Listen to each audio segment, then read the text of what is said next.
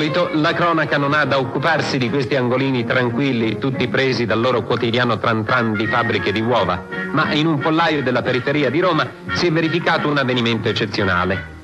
Nere come il carbone sono le uova di una gallina fin qui esemplare e come si vede del tutto normale come aspetto e dimensioni.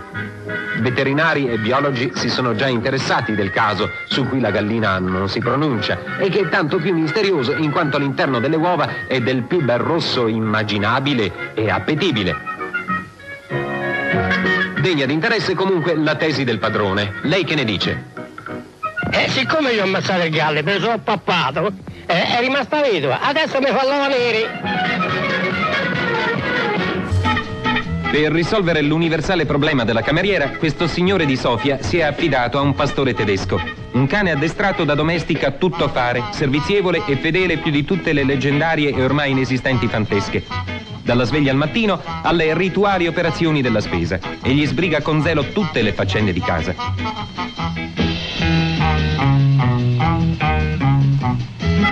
La sera accompagna il padrone nelle scorribande notturne. In clima di festival ha voluto esibirsi anche lui e come tanti ha cantato proprio come un cane.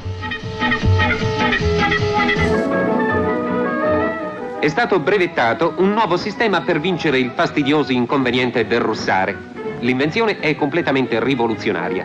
Parte dalla pratica per arrivare alla psicologia e non consiste in un silenziatore, ma in un potente amplificatore.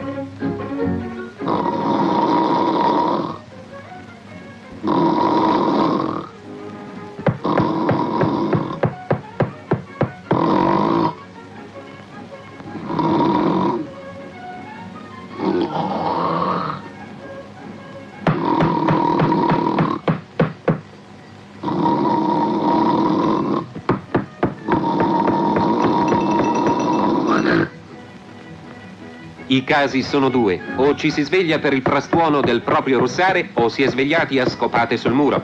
Dopo due o tre applicazioni si insinua nel soggetto il terribile complesso del russatore. Alla fine il complesso lo attanaglia a tal punto da fargli perdere il sonno ed è quasi impossibile russare quando si è svegli. Una nuova grande invenzione è stata messa a punto per scongiurare la guerra atomica. Dopo l'ideazione di un'antenna telepatica, di un enorme razzo per trasporto truppe e di un particolare tipo di bomba nucleare, il tutto regolarmente brevettato, lo scienziato Eugenio Bonicioli ha messo al servizio dell'umanità il Fluid Magnetic, un dispositivo di eccezionale interesse perché è in grado di far cessare i temporali e di influire beneficamente sulle decisioni dei grandi. In tal modo i 2K non potranno mai scatenare la guerra atomica. Purtroppo questo enorme girasole è alimentato da normale elettricità casalinga. Per cui, se in fase di nazionalizzazione venisse a mancare la corrente, immediatamente scoppierebbe la guerra. Milioni? Miliardi? No, ormai i calciatori costano troppo. Finiremo per fare come con i televisori, pagheremo a gettoni. E perfino il Football Club Peretola potrà permettersi il lusso di un fuoriclasse come Macrone.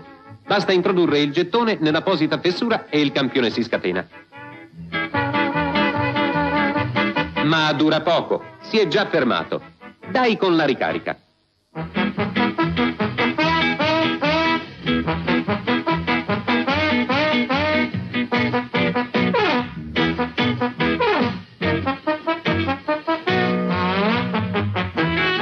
E ci risiamo. Occorre un nuovo gettone.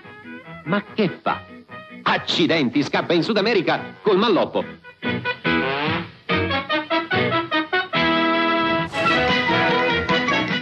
In America le donne sperimentano i brividi virili del rugby, in Europa gli uomini provano i morbidi palpiti della conciatura. La civiltà ha aperto nuovi orizzonti. Il salto dal parrucchiere prima dell'ufficio si è trasformato per l'uomo in una lunga sosta. Non esiste più il taglio frettoloso, ma la preziosa conciatura. Mi fa qui da un lato una banana? Oppure vorrei qualche ricciola alle basette. Due ore dal parrucchiere con le infinite operazioni e la giogaia del casco per la messa in piega servono qualche volta per conquistare il sesso debole, molto più spesso per affascinare il sesso debolissimo. Alle donne, insomma, il mondo moderno apre anche le vie dello sport, fatto appunto per la loro grazia, la loro eleganza, la loro lealtà. Stiamo per assistere a un incontro fra due campionesse, due regine del più americano degli sport, la lotta libera nel fango. Fate attenzione, senza nemmeno l'ordine dell'arbitro, immersione.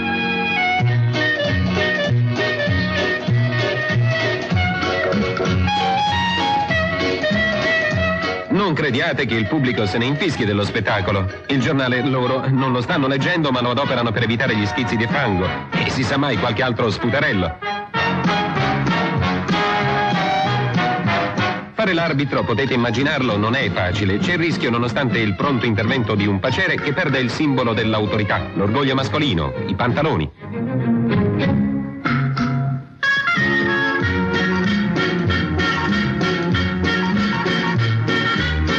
Questi fiori del fango ci mettono tale impegno che uno potrebbe pensare qualunque cosa. Voi che ne dite? Per noi le donne sono capaci di tutto, anche di trasformare uno scherzo in tragedia.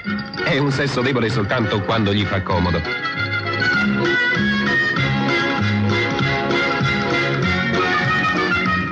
Ma per fortuna tutto torna a finire in scherzo, anzi in idillio, con un brindisi e magari un bacio. Ma state in guardia, lo sapete anche voi che le donne sono sempre pronte a ricominciare. La cronaca nera è fitta di notizie di suicidi all'insegna dei barbiturici. Purtroppo buttare giù due tubetti di pillole con l'aiuto di un bicchiere d'acqua è semplice, indolore e non turba la nostra psicologia.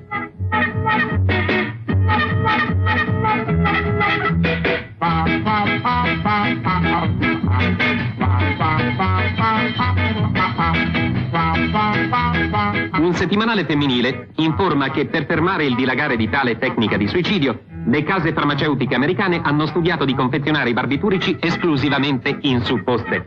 Un illustre scienziato sostiene infatti che se è facile ingoiare una quarantina di pillole, sarà più scomodo immagazzinare una dopo l'altra 40 supposte.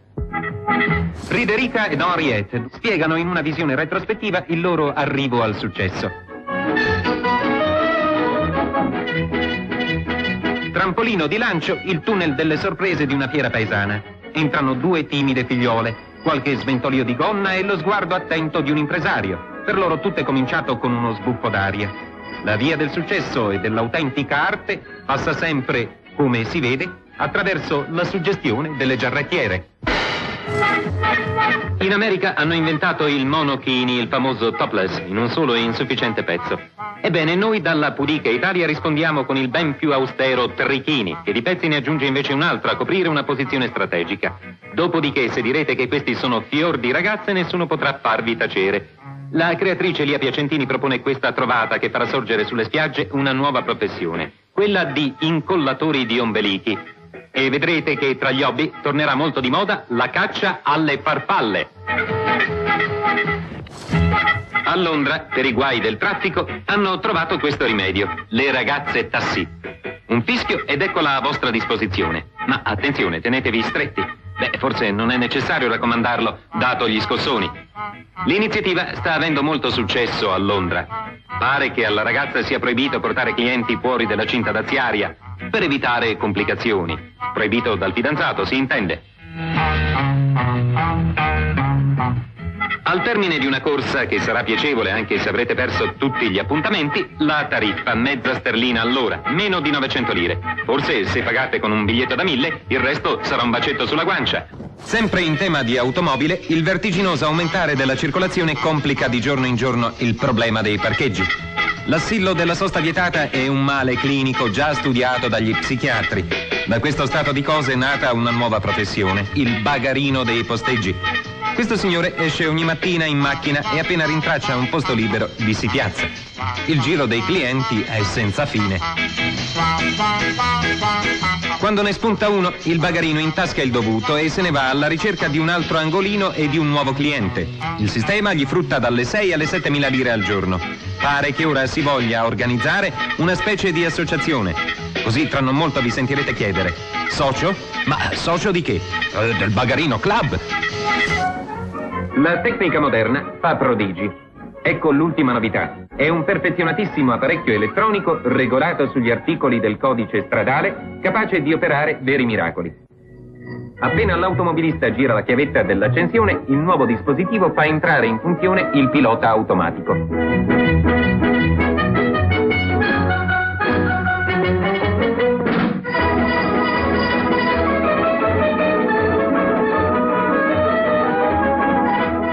Macchina guidata dall'infallibile apparecchio elettronico conduce l'automobilista direttamente in galera.